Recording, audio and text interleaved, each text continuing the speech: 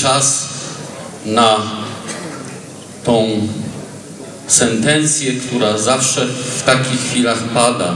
Mianowicie bal studniówkowy 2015 roku uważam za otwarty i życzę miłej i wspaniałej zabawy. Dziękuję.